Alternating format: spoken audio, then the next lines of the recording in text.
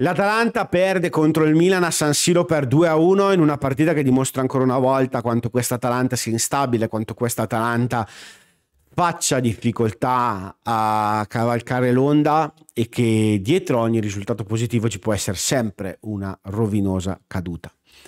Come al solito faccio alcune considerazioni ovviamente a titolo personale, poi voi nei commenti siete liberi di dire la vostra. Sulla partita ragazzi c'è solo tanta tanta tanta amarezza.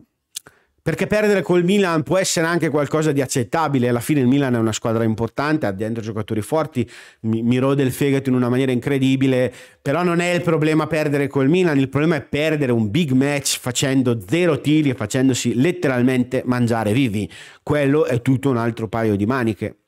E non è solo un paio di maniche per il fatto che noi vogliamo una squadra che in campo se la suda ma vogliamo una squadra che, ma, ma, anche perché se tu sei una squadra che ha delle ambizioni e senza girarci attorno, Condleton, Percassi, tanti hanno parlato di ambizioni, certe prestazioni sono inammissibili. Inammissibili, al di là del risultato. Si è visto una squadra che a momenti non ci credeva, una squadra che eh, non riesce a impostare un minimo di gioco.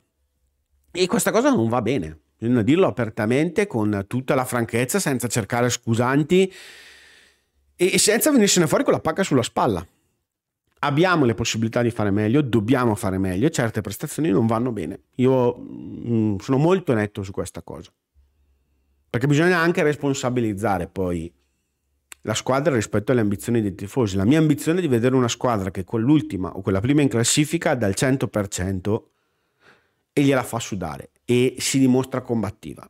Partite del genere, in palcoscenici del genere, per me sono inaccettabili.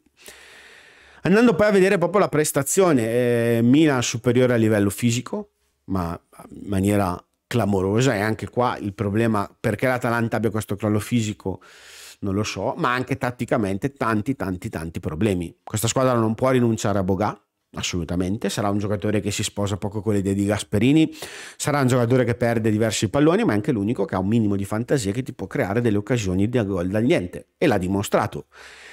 Levarlo perché non hai un cambio di valore dato che Muriel è in condizione impresentabile e Pasalic è infortunato per usare un Q Miners totalmente fuori posizione che diventa innocuo in quel ruolo non è una scelta che paga. Bisogna essere molto onesti eh, Lukman gioca bene ed è pericoloso se fa determinate cose dal largo verso lo stretto e bisogna metterlo in quella condizione lì. Ölund è un giocatore che ha determinate caratteristiche e bisogna valorizzare quelle. Eh, io non so voi, però la sensazione veramente di trovarmi nel giorno della marmotta. Ogni volta che l'Atalanta trova una quadra, eh, pian piano la si va a ritoccare di qua, a ritoccare di là per tornare a un'idea di gioco che l'Atalanta di oggi non riesce a esprimere. E io onestamente questo continuo miglioramento per tornare indietro, miglioramento per tornare indietro, ho molta difficoltà a leggerlo. Poi, come dico sempre, mi mancano degli elementi, non sono un allenatore, non so cosa succede a Zengogna, quindi non è che il mister è impazzito, però dal divano tante cose non si capiscono. Si era trovata una quadra che tutto sommato funzionava e non era nemmeno la quadra difensiva, era una quadra insomma, che bilanciava il tutto. Eh, smontarla perché Boga non fa quel passaggio preciso che vuole il mister o perché c'è un movimento di troppo. Boh, non mi sembra che al momento stia pagando, però come sempre massima fiducia in Gasperini che ci ha abituato più di una volta a, a grandi sorprese. E la, la, seconda cosa che mi importa dire è, è che onestamente anche il mister dovrebbe un attimino chiarirsi le idee perché la, le dichiarazioni rilasciate in conferenza stampa secondo me non fanno altro che confondere da un lato dei giudizi che possono essere anche un po' da, da ombrello, da scudo verso determinati giocatori, però dire che si è giocato bene, onestamente mi, pa- mi pare un po', un, po' eccessiva come cosa.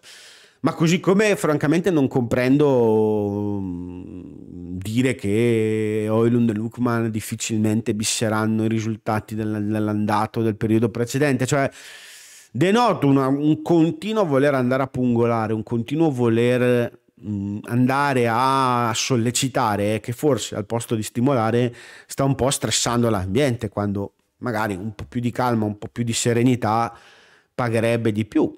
Alla luce poi del fatto che le cose che veramente poi non si capiscono, per esempio la scelta di tenere fuori Bogao, quando dice che ha bisogno di allargare il gruppo perché senza un gruppo largo non si va avanti, quelle non vengono spiegate perché anche lì gruppo largo fino a poco tempo fa il mantra era che era la rosa troppo lunga. Sono stati venduti due giocatori che, un giocatore che manco col binocolo vedeva il campo e adesso il gruppo è, è ristretto cioè diventano Mm, serve chiarezza anche lì, non è dovuta, ci mancherebbe, il mister può anche raccontare quello che vuole in conferenza stampa, non è tenuto a dirci niente, però dopo non ci si può neanche lamentare se la gente qua su YouTube, ma anche al bar eh, normalmente, perché poi è la stessa roba, non riesce a capire determinate situazioni, se non gli vengono forniti gli strumenti, è chiaro, eh, tanto la gente parla né più né meno di calcio, non è che se non gli si danno delle informazioni allora stanno tutti zitti, quindi forse sarebbe meglio anche lì correggere un po' il tiro ed essere un, un filino più esplicativi. Io invito tutti a ricompattarci a... perché comunque la classifica ci racconta che siamo ancora lì, quindi non serve farsi prendere dallo sconforto, le potenzialità io continuo a essere convinto che ci siano, però serve uscirne come squadra, non come singoli, non come non in, puntandosi il dito a vicenda, compatti come squadra, secondo me si può uscire e tornare a fare bene. Con la premessa che l'ho già detto, questo campionato gli scivoloni ce ne saranno ancora e mm, oramai l'andazzo è quello, però tutto va affrontato con un altro atteggiamento. Come al solito vi ringrazio, tutti i miei riferimenti sono in descrizione, ci vediamo nel prossimo video. Ciao!